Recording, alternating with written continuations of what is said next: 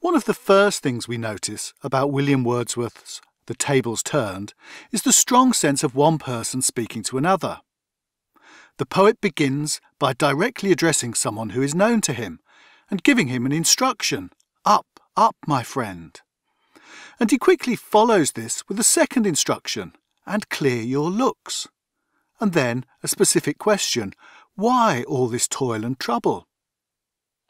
This pattern is repeated in the next couplet, with repetition of the initial instruction, up, up, my friend, followed again by a second instruction, and quit your books, and then a friendly, light-hearted warning, or surely you'll grow double. So the start of the poem is very lively, dramatic, immediate. It's highly conversational, even slightly comic, as Wordsworth teases his friend, telling him to quit his books and joking that he'll grow double, whatever that means, something you might like to discuss in the comments section. This comic tone in the opening of the poem is reinforced by its colloquial style, seen in the uses of phrases such as toil and trouble and surely you'll grow double. The comic tone is also reinforced by the use of multisyllabic rhyme words, such as trouble and double. Such multisyllabic words are a common feature of comic poetry, and here Wordsworth uses them to create a sense of light-heartedness and fun. In these opening stanzas, Wordsworth maintains this sense of spontaneity and of a conversation actually occurring at a specific time and place.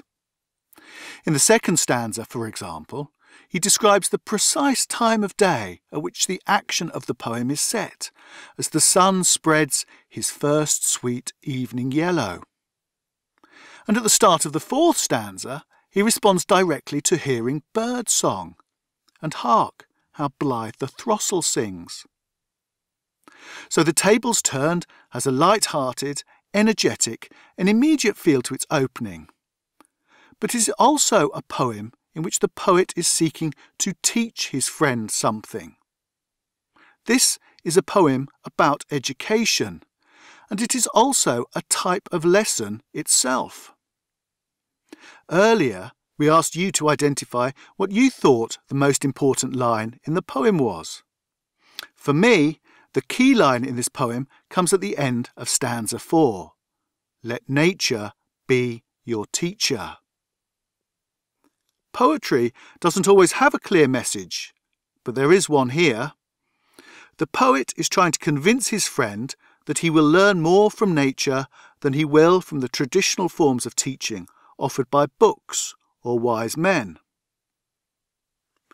Much of the poem and many of its stanzas are structured by this juxtaposition of two different kinds of education.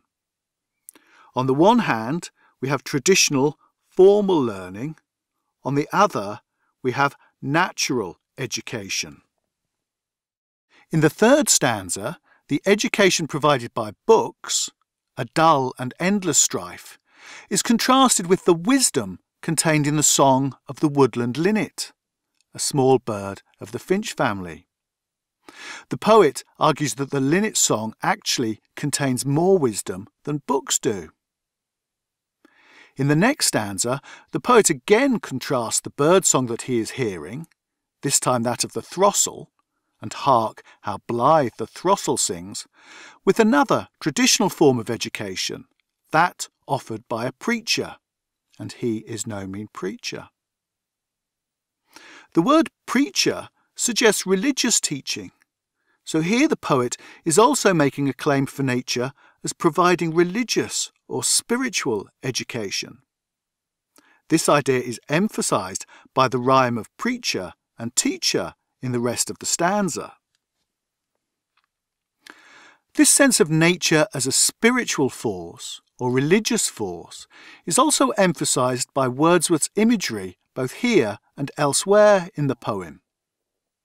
In this stanza, the phrase, come forth into the light of things, is in part a reference to his calling on his friend to leave his books and come outside into the light of the evening sun that is described in stanza 2. But it also carries with it a sense of illumination and revelation. Stepping outside into the natural world will lead to enlightenment. Wordsworth also uses religious language in the following stanza when he seeks to describe the benefits of nature. She has a world of ready wealth, our minds and hearts to bless. So here, the benefits of nature are a blessing. They make our minds and our hearts holy, as if they had been blessed by a priest or have been favoured by God. Note as well how the poet presents nature's benefits as ready wealth. Wordsworth is suggesting that the natural world is more valuable than financial or material riches. So far in the poem, nature has primarily been represented by birds, the linnet and the throstle. But now the poet presents nature as a feminized figure or personification. She has a world of ready wealth. In the stanza that follows, Wordsworth again juxtaposes the educative power of nature with conventional teaching. This time, nature is represented by a vernal wood. Vernal means springtime.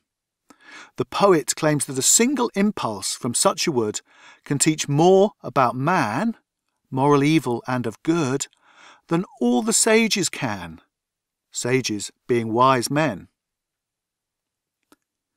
Throughout the poem, then, Wordsworth has set up a series of parallels between traditional forms of knowledge, gained from books and wise men, and the spontaneous wisdom and truth provided by nature's education.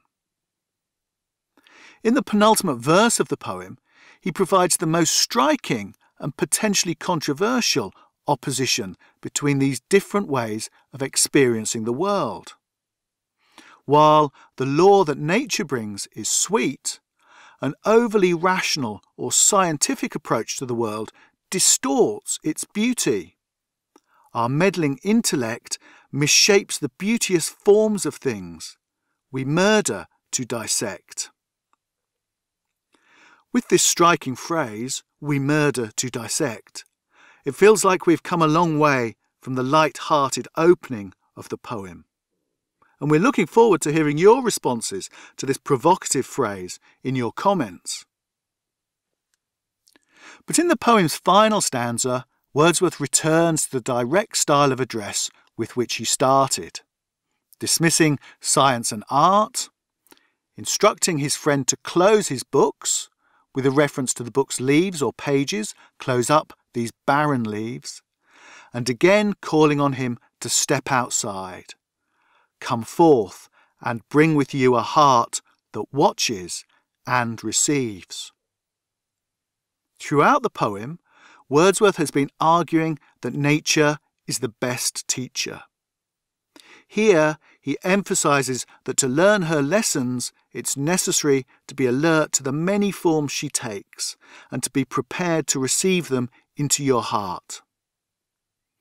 This emphasis on the need to open yourself up to the power of nature if you are to benefit from it is a key Wordsworthian idea.